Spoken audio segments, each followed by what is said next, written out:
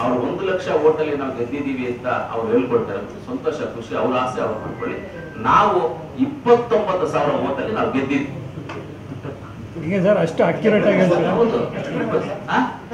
ನಂದು ಮಿನಿಮಮ್ ಅದು. ಅದ್ರ ಮೇಲೆ ಏನೋ ಇರ್ಲಿ. ಯಾವ ಕ್ಷೇತ್ರ ಸರ್ ಲೀಡ್ ಯಾವ ಕ್ಷೇತ್ರ ಸರ್ ಅದು ಗೊತ್ತಿಲ್ಲ ಸರ್ ಜನ ಹೆಂಗ್ ಓಟ್ ಹಾಕಿರ್ತಾರೆ ಗೊತ್ತಿಲ್ಲ. ಒಟ್ಟಿನಲ್ಲಿ ಹೆಂಗಾಗುತ್ತೋ ನೋಡ್ಬೇಕು. ಇಪ್ಪತ್ತೊಂಬತ್ತು ಸಾವಿರ ಓಟಲ್ಲಿ ನಾವು ಅದು ಹೋಲ್ಸೇಲ್ ಆಗಿ ಹೆಂಗ್ ಹೇಳ್ತೀರಾ ಅಂತ. ಅದು ಹೋದ್ಸಲ ನಿಮ್ಗಿದೆ.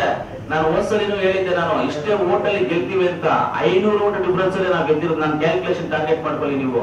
ಮುಲ್ಬಾಗಲ್ಲಿ ಎಷ್ಟು ಓಟ್ ಬರುತ್ತೆ ಅಂತ ಹೇಳಿದ್ದೆ, ಅಷ್ಟೇ ಓಟ್ ಬಂದಿದೆ. ನಾವು ಇಷ್ಟೇ ಲೀಡಲ್ಲಿ ಗೆಲ್ತೀವಿ ಅಂತ ಹೇಳಿದ್ದೆ, ಅಷ್ಟೇ ಲೀಡಲ್ಲಿ exact five hundred votes difference ಅಲ್ಲಿ ಲೀಡಲ್ಲಿ ಗೆದ್ದ ಗೆದ್ದಿವಿ ಈ ಚುನಾವಣೆಯಲ್ಲಿ ನಿಮ್ಮ ಪತ್ರಕರ್ತರಿಗೆ ಅಸೆಂಬ್ಲಿ ಚುನಾವಣೆಯಲ್ಲಿ ಇವತ್ತು ನಾನು ಥರ್ಡ್ ಪ್ಲೇಸ್ ಅಲ್ಲಿ ಇದ್ದೀನಿ ಅಂತ ಹೇಳಿದೆ ತಿರ್ಗಾ ನಾನು ಸೆಕೆಂಡ್ ಪ್ಲೇಸ್ ಅಲ್ಲಿ ಇದ್ದೀನಿ ಅಂತ ಲಾಸ್ಟ್ ಅಲ್ಲಿ ಫಸ್ಟ್ ಪ್ಲೇಸ್ ಅಲ್ಲಿ ಇದ್ದೀನಿ, ನಾನು ಗೆಲ್ತೀನಿ ಅಂತ ಹೇಳಿದ್ದೆ ನಿಮಗೆ. ಯಾರಿಗೂ ನಾನು ಗೆಲ್ತೀನಿ ಅಂತ ನಂಬಿಕೆ ಇರಲಿಲ್ಲ. ಆದ್ರೆ ಚುನಾವಣೆ ಮಾಡೋದು ನನಗೆ ಗೊತ್ತಿತ್ತು, ಮಾಡಿದೆ ಕರೆಕ್ಟ್ ಆಗಿ ಗೆದ್ದಿದ್ದೀನಿ. ಅದ್ರಲ್ಲಿ ನಿಮ್ ಸಹಕಾರನೂ ತುಂಬಾ ಇದೆ. ಈಗಲೂ ನಿಮ್ ಸಹಕಾರ ತುಂಬಾ ಇರಲಿ ಅಂತ ನಿಮ್ಗೆ ನಮಸ್ಕಾರ. ಚಿರಋಣಿ ಆಗಿರ್ತೀನಿ. ನನ್ನನ್ನು ಆಯ್ಕೆ ಮಾಡಿದ್ದಕ್ಕೆ ಮತ್ತೆ ಏನು ಜೆ ಡಿ ಎಸ್ ಪಕ್ಷದ ಬಿಜೆಪಿ ಪಕ್ಷದ ಎರಡು ಮುಖಂಡರು ಮತ್ತೆ ಕಾರ್ಯಕರ್ತರು ಏನು ನನಗೆ ಒಂದು ವಿಶ್ವಾಸ ಕೊಟ್ಟು ಎಲೆಕ್ಷನ್ ನಿಂತು ನಿಮ್ಮ ನಿಮ್ಮ ಜೊತೆ ನಾವು ಇರ್ತೀವಿ ಅಂತ ಏನು ಹೇಳಿದ್ದಾರೆ ಎರಡೂ ಪಕ್ಷದ ನಾಯಕರು ಮುಖಂಡರು ಕಾರ್ಯಕರ್ತರು ಎಲ್ಲರಿಗೂ ಧನ್ಯವಾದಗಳು ಹೇಳಕ್ಕೆ ಇಷ್ಟಪಡ್ತೀನಿ. ಎರಡೂ ಪಕ್ಷದ ಎನ್ ಡಿ ಎ ಅಭ್ಯರ್ಥಿ ಅಂತ ಏನು ನಮ್ಮನ್ನೇ ಘೋಷಣೆ ಮಾಡಿದ್ರು? ಎರಡೂ ಪಕ್ಷದ ನಾಯಕರು ಮತ್ತೆ ಕಾರ್ಯಕರ್ತರು ಏನು ಒಗ್ಗಟ್ಟಾಗಿ ಕೆಲಸ ಮಾಡಿದ್ರು ಮತ್ತೆ ಏನು ದೇವೇಗೌಡರು ಮತ್ತೆ ಕುಮಾರಸ್ವಾಮಿ ಅವರು ಒಳ್ಳೆ ಕೆಲಸಗಳು ಮಾಡ್ಕೊಬಂದರು ಏನು ನನ್ನ ಮೇಲೆ ಒಂದು ನಂಬಿಕೆ ಇಟ್ಕೊಂಡಿದ್ರು? ಅಭ್ಯರ್ಥಿ ಮಾಡಿದ್ರೆ ಗೆದ್ದೇ ಗೆಲ್ತಾರೆ ಅಂತ ಒಂದು ಏನು ಒಂದು ನಂಬಿಕೆ ಇಟ್ಕೊಂಡಿದ್ರು. ಅದ್ರ ಜೊತೆಗೆ ಬಿ ಜೆ ಪಿ ಪಕ್ಷದ ಮುಖಂಡರು ಏನು ವರಿಷ್ಠರು ಅವರು ನನ್ನ ಮೇಲೆ ನಂಬಿಕೆ ಇಟ್ಕೊಂಡು ಎರಡಕ್ಕೂ ಒಂದು ಒಳ್ಳೆ ಉತ್ತರ ಕೊಟ್ಟದ ಆಗಿದೆ ನಮ್ಮ ನಮ್ಮ ಕಡೆಯಿಂದ ಅಂತ ನಾವು ಹೇಳಕ್ ಇಷ್ಟಪಡ್ತಾರೆ ಸರ್ ಯಾವ್ದಾರ ಹಂತದಲ್ಲಿ ಭಯ ಇತ್ತು ಸರ್? ಎರಡ್ ಸಾವಿರ ಒಂದ್ಸಲ ಒಂದ್ ಹಂತದಲ್ಲಿ ಸರ್ ಕೌಂಟಿಂಗ್ ಕೌಂಟಿಂಗ್ ಎಲ್ಲ ನಡೀತಾ ಇತ್ತು ನಮ್ಗೆ ಗೊತ್ತಾಗ್ತಾ ಇದೆ ಏನು ಅಂತ. ಬಟ್ ಅದು ಏನು ಒಂದು ಅಪ್ಲೋಡ್ ಮಾಡ್ಬೇಕಂದಿದ್ರೆ ಅದು ಸ್ವಲ್ಪ ಟೈಮ್ ತಗೊಂಡಾಯ್ತು ತಗೊ ತಗೊಳ್ತಾ ಇತ್ತು. ಅದಕ್ಕೆ ಅಂತರ ಬಂದಿದ್ದೆ ಹೊರತು ಬೇರೆ ಏನಿಲ್ಲ. ನಮ್ಗೆ ಗೊತ್ತಿತ್ತು ಯಾವ ಗ್ರೌಂಡಲ್ಲಿ ಹೆಂಗೆ ಓಟ್ ಪ್ಯಾಟರ್ನ್ ಆಗ್ತಾ ಇದೆ ಅಂತ.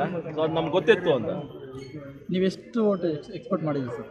ನಾವು ಅರವತ್ತಿಂದ ಎಂಬತ್ತು ಸಾವಿರ ಅಂದ್ಕೊಂಡಿದ್ವಿ ಅದು ಕರೆಕ್ಟಾಗಿ ಅಷ್ಟೇ ಆಗಿದೆ. ಜೆಡಿಎಸ್ ಪಕ್ಷ ಯಾವ ವಿಧಾನಸಭಾ ಕ್ಷೇತ್ರದಿಂದ ಜಾಸ್ತಿ ಜಯಬೇರಿ ಸರ್?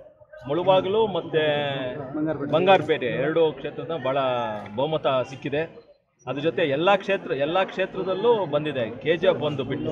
ಲೋಕಸಭೆ ಚುನಾವಣೆಗೆ ಹೋಲಿಕೆ ಮಾಡಿದ್ರೆ ಅವರು ಬಿಜೆಪಿ ಅಭ್ಯರ್ಥಿ ಒಬ್ಬರು ಏಳು ಲಕ್ಷ ಓಟ್ ಮೈತ್ರಿ ಅಭ್ಯರ್ಥಿಯಾಗಿ ಇನ್ನು ಕಡಿಮೆ ಅಂತ ಈಗ? ಲೀಡ್ ಕಡಿಮೆ ಆಯ್ತಲ್ಲ ಸರ್? ಕಡಿಮೆ ಅಂತ ನೀವು ಅಂದ್ರೆ ಬಟ್ ಕಾಂಗ್ರೆಸ್ ಸರ್ಕಾರ ಇವಾಗ ಒಂದು ವರ್ಷ ಏನು ಅವರು ಆಡಳಿತ ಮಾಡ್ಕೊ ಬಂದಿದ್ದಾರೆ.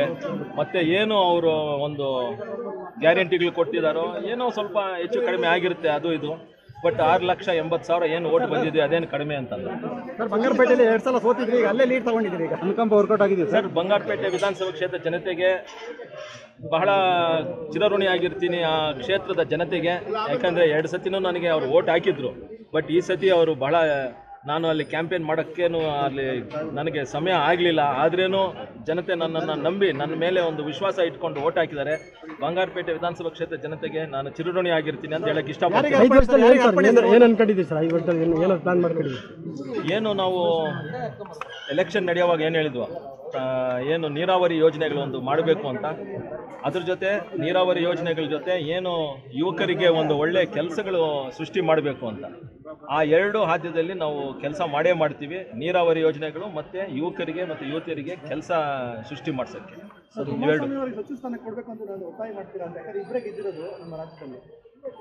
ಸರ್ ಅದು ಹೈಕಮಾಂಡ್ ಅವರು ಡಿಸೈಡ್ ಮಾಡ್ಕೊತಾರೆ ನಾವು ಒತ್ತಡ ಮಾಡೋಕ್ಕೆ ನಾವು ಅದು ಅದರಲ್ಲಿ ನಾವು ಅಷ್ಟು ಇದಲ್ಲ high command B J P high command ಮತ್ತು J D S high command ಅವರಿಬ್ಬರು ಇದು ಮಾಡಿಕೊಂಡು ಡಿಸೈಡ್ ಮಾಡ್ತಾರೆ ಅದನ್ನು ಸರ್ ಈಗ ನೀವು ಎಂ ಪಿ ಆಗಿ ಗೆದ್ದಾದ ನಂತರ ಈಗ ಮುನ್ಸ್ವಾಮಿ ಅವರಿಗೆ ಬಂಗಾರಪೇಟೆಯಲ್ಲಿ ಮತ್ತೆ ಅವ್ರು ಎಂ ಎಲ್ ಎ ಗೆಲ್ತಾರೆ ಅಂತ ಕಾರ್ಯಕರ್ತರೊಳಗೆ ಹೊರಗಡೆ ಘೋಷಣೆ ಕೊಡ್ತಾ ಇದ್ದಾರೆ ಅದ್ರ ಬಗ್ಗೆ ನೀಡೋದು ಸರ್ ಇದೆಲ್ಲ ಹೈಕಮಾಂಡ್ ಬಿಟ್ಟಿರೋದು. ಇದು ನಾನು ಇವಾಗ ಈ ವೇಳಕ್ಕೆ ನನಗೆ ಅದು ಸೂಕ್ತ ಸಮಯ ಅಲ್ಲ.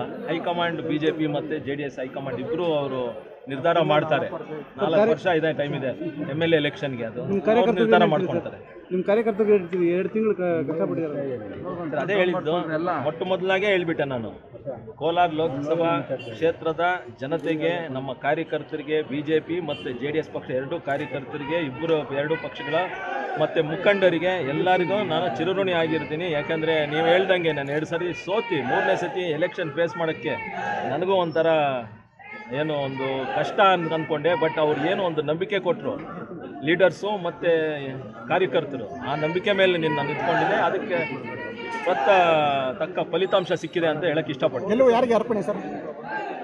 ಎಲ್ಲ ಕ್ಷೇತ್ರದ ಮತದಾರರಿಗೆ ಜೆ ಡಿ ಎಸ್ ಮತ್ತು ಬಿ ಜೆ ಪಿ ಕಾರ್ಯಕರ್ತರಿಗೆ ಮತ್ತು ಮುಖಂಡರಿಗೆ ಮತ್ತು ಮೋದಿ ಅವರಿಗೆ ದೇವೇಗೌಡರು ಅಪ್ಪಾಜಿ ಅವರಿಗೆ ಎಲ್ಲರಿಗೂ ಚಿರಋಣಿಯಾಗಿರ್ತೀನಿ